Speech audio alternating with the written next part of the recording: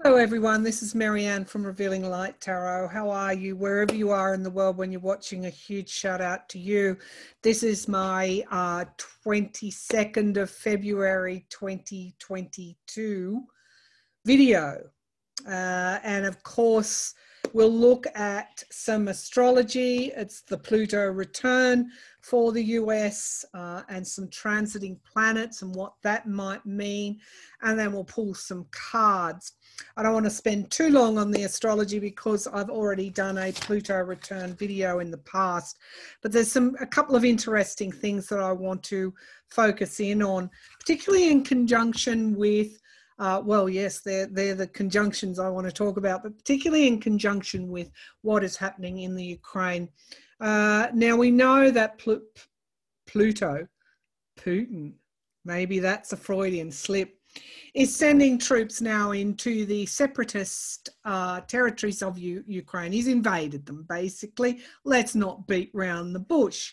Now, there isn't a full scale um, uh, yet response from the US, although there's an executive order that Biden is signing, uh, which says that no one in America, no businesses in America can do business or investments in that Ukrainian uh, territory, occupied territory.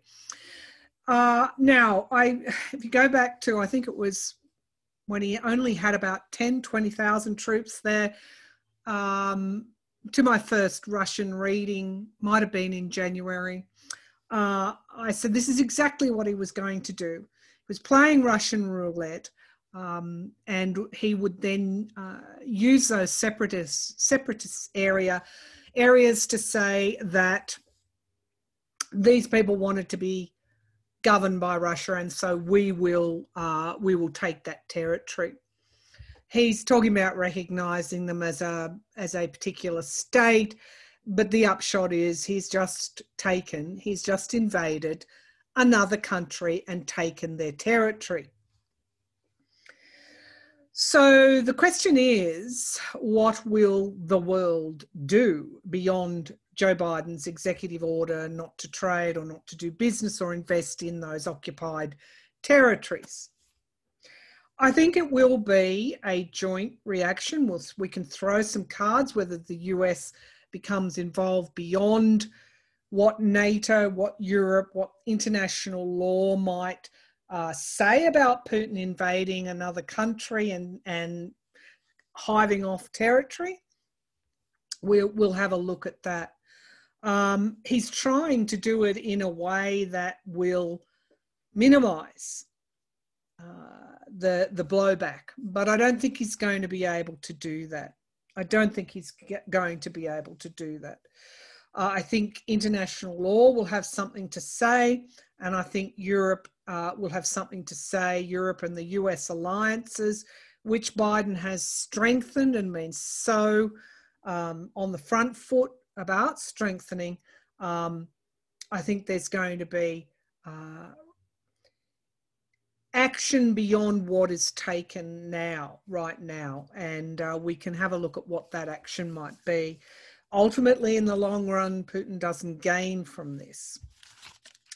Okay, so let's take a look at the 22nd of the second 2022 transits as as they are against the US natal chart, which is the 17, 1776 Philadelphia uh, chart um, that I'm using. There, there are a, a, few natal charts, but this is the one I'm using. Um, let's take a look at it and see whether uh, any of those transits might indicate that there is actually uh, the US going to war with with Russia, albeit in a coalition with the with NATO. Whether there's any, well, not so much NATO. NATO won't be triggered until uh, until a member state is invaded, and of course Ukraine isn't part of NATO. Remembering, of course, that Trump tried to destroy and weaken NATO. Remembering, of course, that Putin has been active in undermining uh, Europe for a long time, including in the Brexit campaign. But he hasn't succeeded. Uh, now, thankfully, Joe Biden is president, not Donald Trump. And uh, and the alliances between the US and Europe, and indeed the UK and Europe, are as strong as they ever have been over the last three or four years. So he's failed on that. Now, numerolo- numerologically speaking, the 22nd of the 2nd, 2022 obviously puts the focus on alliances, on partnerships, on diplomacy, um, on collectively coming together to take action rather than authoritarian rule, uh, which would uh, which would be Putin. So even you, in numerology, Putin is not winning because the unified force is far stronger than uh, than the singular force. Uh, unified diplomacy and action, the action of many, is far stronger than the action of one. Now, that's not to say that Putin doesn't have allies, he does. And thank you to my viewers for pointing out the Gemini card kept coming up. Uh, I was a little bit mystified uh, as to whether that was Trump or somebody else. Intuitively, I felt he does have allies. Of course, Xi Jinping, China's president, is a Gemini. Thank you to the viewer who pointed that out. And we know that there is an alliance between Putin and China. But let's get back to this chart before we pull some cards. You can see in uh, the Philadelphia 1776 chart the accent here on partnerships and alliances in the natal chart. Unity coming together. Yet we, as we know, America is not unified at this time internally, domestically it's po- as polarized, I guess, it, as it has been since the Civil War. Um, and you see a lot of this transiting action uh, around um, communication, stability, a focus on domestic uh, challenges, um, but also this Piscean energy. Now, um, we do have this transiting Neptune opposite Neptune in Virgo in the ninth house in the natal chart. Now, Neptune in uh, Virgo, of course, uh, is the polarity for Pisces, given that Pisces rules the 12th house of the zodiac. And what it does is it grounds, it grounds, it brings into form something. So, in this uh, declaration chart, in the 1776 chart, we have something coming into form. What do we have coming into form? The United States. But if we move down to transiting Neptune in the third house in Pisces, we have very much the third house is communication, inner and outer, inner and outer communication. So we see with Pluto, transiting Pluto here in the second house, a real examination of values, personal values. So I don't see any any transits up here in the seventh house around these these tremendous partnerships and alliances, which would indicate to me uh, perhaps signing on to take some kind of military action against Russia at this stage, and I'll have to pull cards, I don't see the US doing that. I see more uh, them coming together the unity, the twos, the diplomacy, the tact, the united action with Europe and the UK uh, to perhaps take some sort of action which stops uh, stops Russia in its tracks. What could that be? Well, it might be that Ukraine now is now able to join NATO and NATO forces go there uh, into Ukraine and put that barrier there uh, between the the invaded territories and, and and larger Ukraine. It might be something like that. Um, now back to these transits. I'm not saying that there won't be military action against Russia at this stage. I'll I'll look at that beyond this chart. The reason that I'm a little bit I guess, concern is we have Uranus in Taurus in that fifth house of expression. Uh, and we have the North Node here in Taurus, of course. Um, and uh, that's in the natal transiting North Node in the in the natal sixth house, which of course is stability. The accent is on stability, whether it's internally or externally, it's the same. It's that we have to work toward stability. But this Uranus in Taurus is uh, is really urging us to create something new that we can't keep doing things in the older old way. So, um, in the past, you might have seen the US very quick to jump into, uh, particularly wars in the Middle East. I, I don't see that this time. I see more a collective action occurring. Now, what that action will be, we'll have to find out. I, I am heartened here transiting Saturn is trining Saturn in Libra and this accent on stabilizing the US inter- internally, doing the work, making sure that that Neptune uh, in Pisces doesn't create something that undermines the stability of the US. Uh, I, I feel that's more around what the Pluto return brings. Um, so any action against Russia will be a will be a world action. It will be a uh, collective action. But there's a lot of work for the US to do internally to achieve unity within its own borders. And Uranus in Taurus is there for the long haul. Uh, as I've always said about transiting Uranus in Taurus, uh, it is around um, the way that we create, really looking at what we are creating for the longer term with the accent on uh, stability because Taurus uh, loves to be stable. They're not comfortable around um, an environment that is unstable.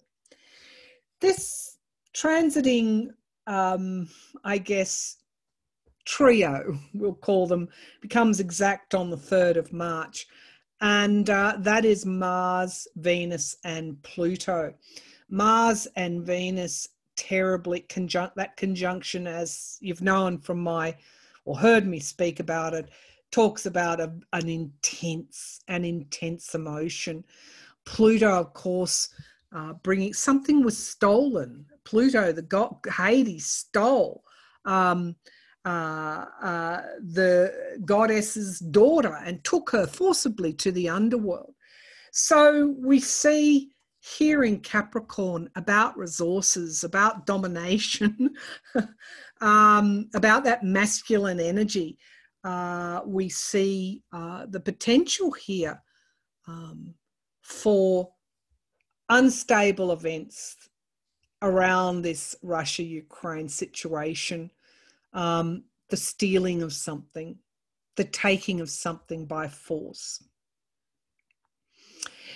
The other concerning transit here, because as you know, the south transiting, oh, the south node is in um, is in Scorpio, and the moon is transiting moon is there in Scorpio at this time as well in the collective, and so there is a there is a lot more to come to the surface uh, a lot more information to come out, a lot more uh, truth to be seen. Um, these are unstable and changing times, but we also have that North Node in Taurus in the sixth house in the US. So, uh, what the US does, how it it um, works through its internal issues, how it leads in alliances, um, is extremely important to all of us. Um, and at this stage, I see that uh, Biden has accomplished much in that regard, and Harris. She's been in Munich as well, his vice president, working hard to bring those alliances together. The dictator who invades other countries, whether that be Putin and Russia or Xi Jinping in China, inv- trying or wanting to invade Taiwan, how are these aggressive dictators stopped. And yes, there will be other dictators that will take their place in time, but it is unity, it is collective action that stops this. But for, first of all, it's justice. And of course, we see Saturn, uh, natal Saturn in the US here in the 10th house, the outwardly expression, the outward environment in Libra, and it is um, there is a uh, a trine here to uh, transiting Saturn in Aquarius. So, what is Aquarius? Aquarius is the law. Um, it is uh, that higher, you know, for the higher good. So, um, this is a critical time for the US internally and externally. But I do feel that any action against Russia will be collective. It will be an allied response that doesn't necessarily include uh, war. It may include collective sanctions on Russia. Who will, who will that benefit? Nobody. It certainly will be to the detriment of Russia, Russia, everyday Russians. What else might occur? Ukraine, what's left of Ukraine, may be allowed to join NATO and a hard boundary put between Putin's aggression and uh, Ukraine. And because after Ukraine, what's next? Poland, Finland, who would know? After Taiwan, what's next? Uh, dictators show no bounds, no boundaries. They step over boundaries. So um, that is uh, that is the 22, 20, 2022. Uh, as we say, we that's how we express the date here in Australia. Uh, I think you do the opposite um, in the US or other places. Uh, it would be 222 2022. It really doesn't matter because you can see the upshot of the twos. It is a time when the world comes together, not apart. And for the US, it is coming together. Why? To achieve more stability. All right, let's throw some cards um, and see what we need to see. I'm just going to throw a couple of these astrology, black moon astrology cards. Black moon astrology cards. All right. If you're interested in the decks I use, I say them. I don't want to keep typing them out. I just go back and listen to the videos. So let's see what we have to learn. 20, let's focus on the 22nd of February 2022. 22nd, what does this, what do these twos remind us of? Strength in unity, strength of the collective, collective will, coming together. 22nd of February 2022, some overarching energies, please. All right, so we have the lunar eclipse and change. Now there is an eclipse. I think the next one is in. Is it in April? So we've got. We're on. We know. Basically, we know we are in this cycle of change. It's in the chart. Gemini, I think. Now that's interesting. Uh, because we have in that third house, let me just go back to my chart here because I made a mental note to myself around this Gemini influence. Where have we got here? Yeah. So we've got Uranus um, in the US natal chart or Philadelphia 1776 chart in any case. Uh, we've got Uranus in Gemini in the sixth house. Um, which is interesting. And then we have a conglomeration of these transiting planets in Pisces in that third house. So pay attention wherever you are, wherever you are, pay attention to how you're communicating externally and more importantly, how you're communicating, thinking. What are your thoughts? Thoughts preceding words, all part of communication. Pay attention to what you're thinking, about yourself, first and foremost, and about others, because there is great change, great pressure, great transformation with that Uranus energy for change.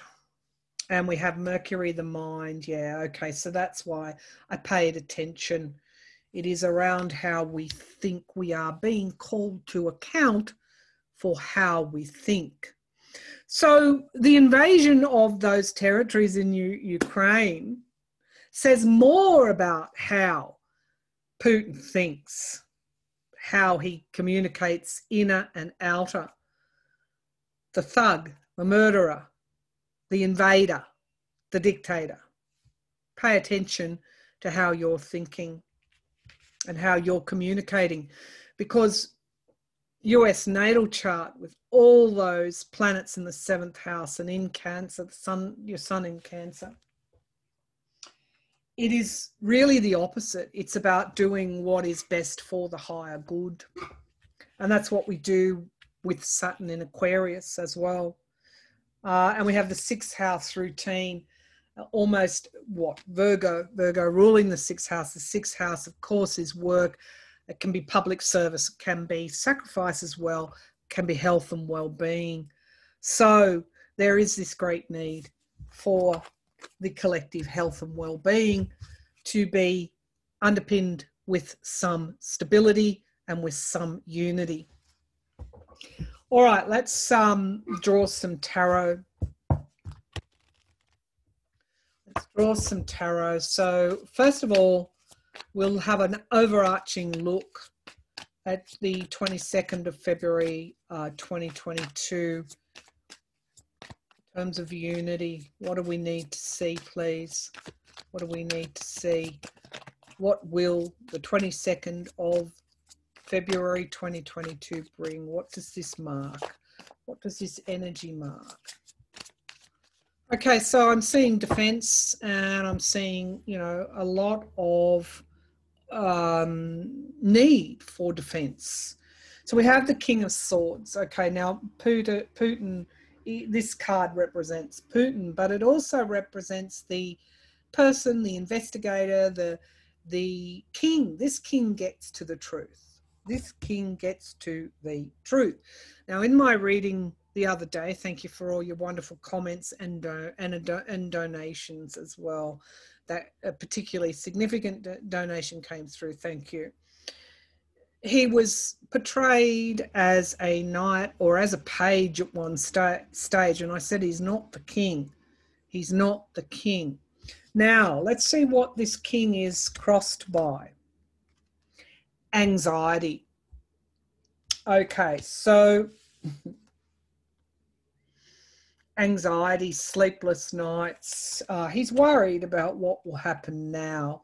Is he ready for war? No, because he, he's like the fox in the henhouse. He tries to do it in a sneaky way, like he annexed Crimea, so that no no big trouble comes back at him. But I don't think that's going to wear this time. The Knight of Pentacles, we want stability. This is not the time to allow aggression. This is that Taurus energy. Uranus and Taurus is change, but it's slowing it down. It is having, uh, it is about change for the greater good.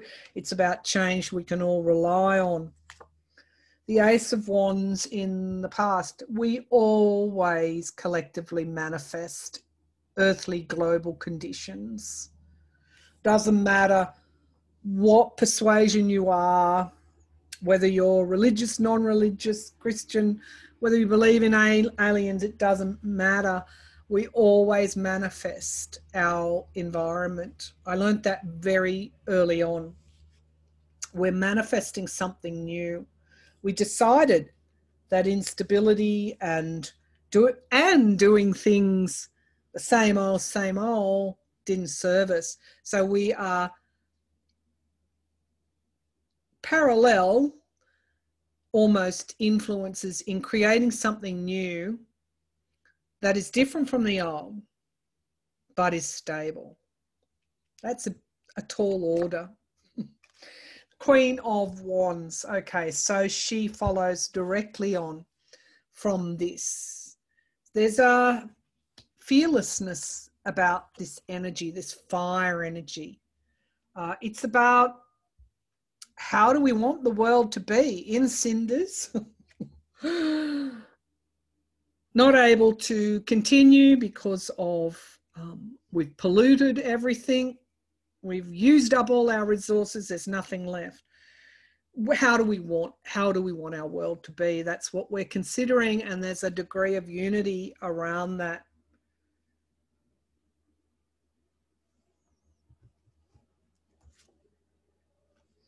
Despite the last gasps of the patriarchy. The Eight of Pentacles, this is our values, our values, our earthly values, but we, it's almost like we are, uh, are the apprentice in a way.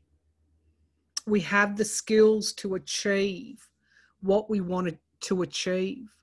And we're going to do that, not in a blaze of I don't know, a blaze of what we might have seen in the old. This is really about changing, really a reset. The Four of Wands coming together and unity. 2022, 22nd of February 2022.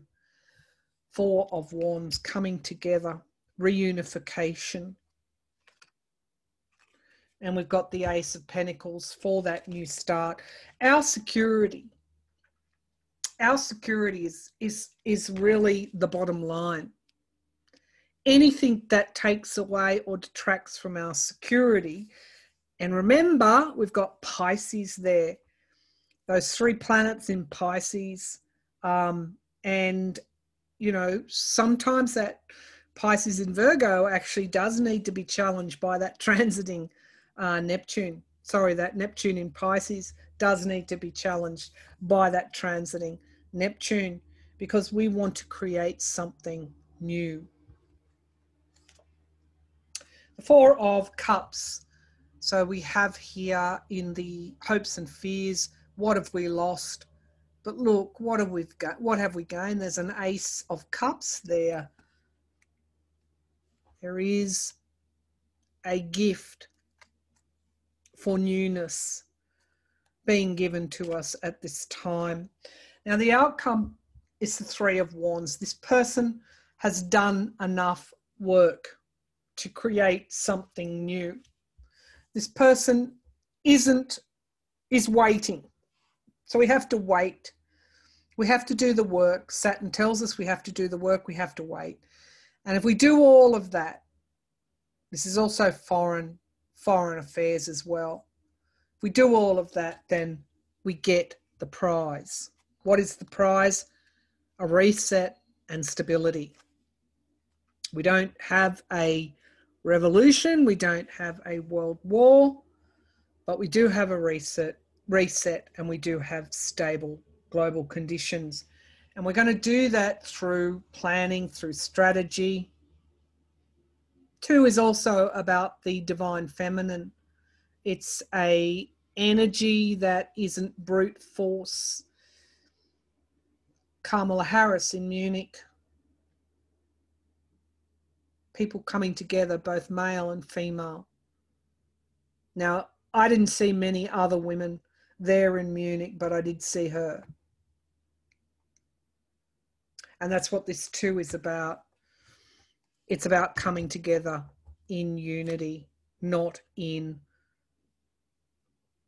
that active aggressive type of way. And we are. Part of the Ten of Wands is about closing down. We've achieved, we're closing down old cycles because we've been prepared to embrace change. So, is it going to be easy? The star card? No. Is there more work to be done? Yes. But we have some really uh, good underpinnings here um, Nine of Pentacles, independence, because we want our stability and our independence. We are walking that tightrope, but we do have, we do have this King of Wands. We have the King, the Queen, and the Ace of Wands, and the Four of Wands here. We do have this motivation to achieve what we want, and we do have perhaps victory over, over confusion. And the thing that will get us there, that will take us there, is that ability to see things as they are. It's like collectively we've all got our Piscean hats on at the moment. So let's see if Ukraine, before I close down this reading, because in those Pluto returns, you've got to look at the significant events. The significant events for the Pluto return for the US and others, allies. The January 6th coup attempt, which we see playing out, and the end of Putin's American president ally in Trump. We have that. And we have the situation in Ukraine, the um, invasion of Ukraine land by Russia. All right. Show me, show me what will happen with Ukraine.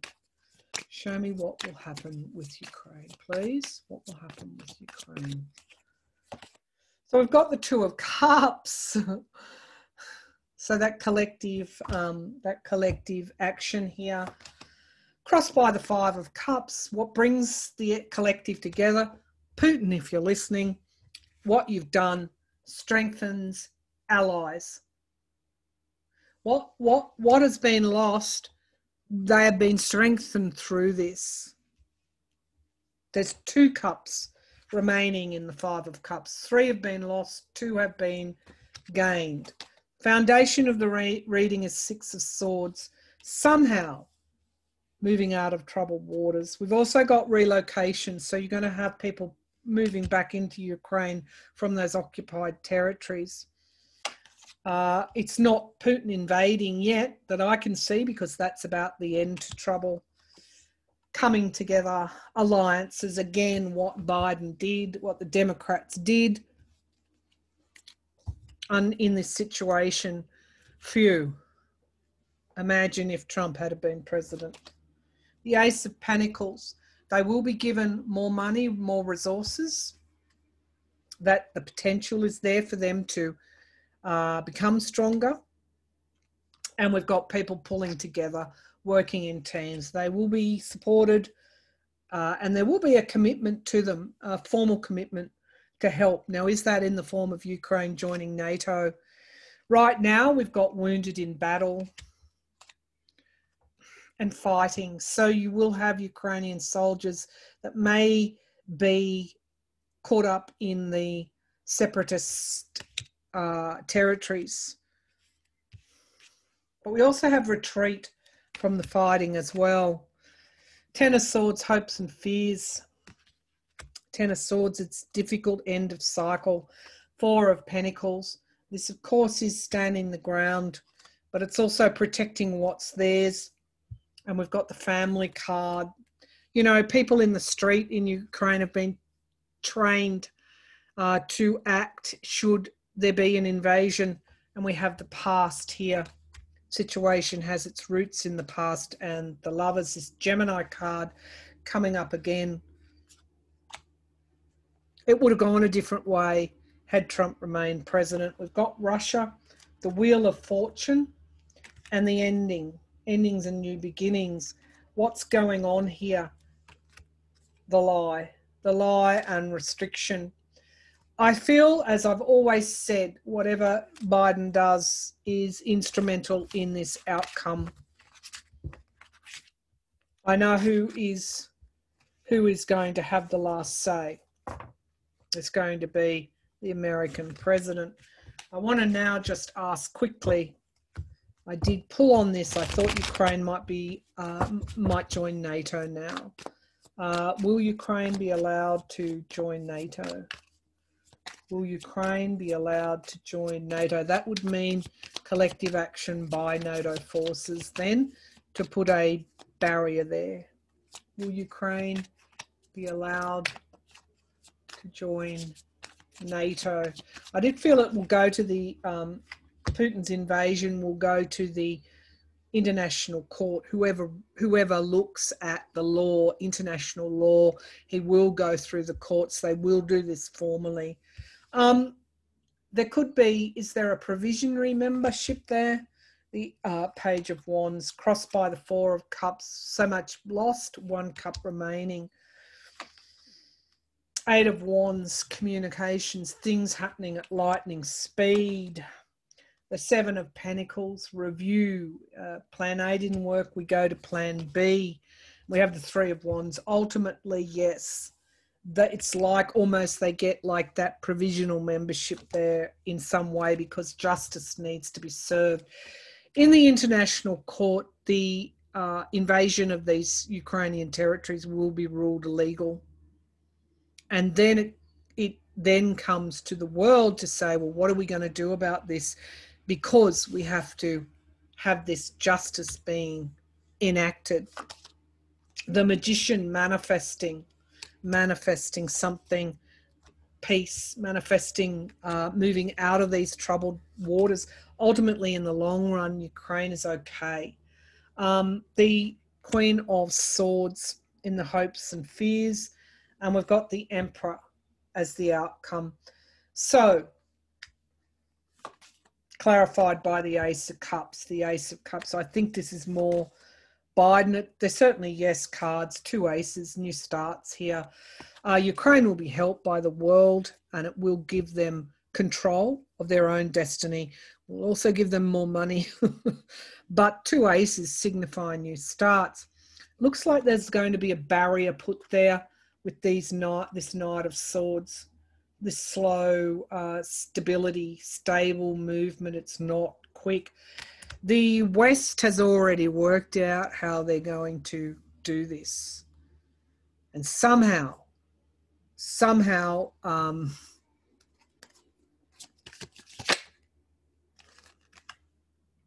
making it hard for Putin to get what he wants. Please clarify it's going to be hard for him, even if he is the emperor.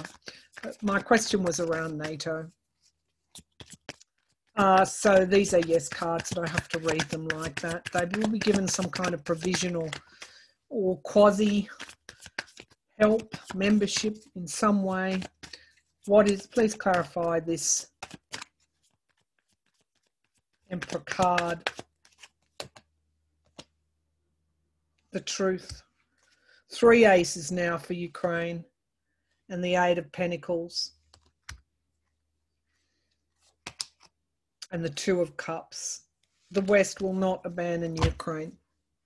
However, that, however you want to interpret that, the uh, far underlying energy is abuse of power. Somebody that comes in and takes what is what is not theirs. The Hierophant, the government, some higher form courts the five of wands this partisan energy betrayal betrayal. But we also see the sun card the sun sun is currently in pisces. Pisces of course is the collective. It's almost like as i said we're all psychics at the moment. We absolutely know what we need to do. Right that is my 22nd of February 2022 reading. Thank you for tuning in. Thanks for your comments. Thanks for your courtesy. And thanks for your donations uh, and your support of my channel. Thank you.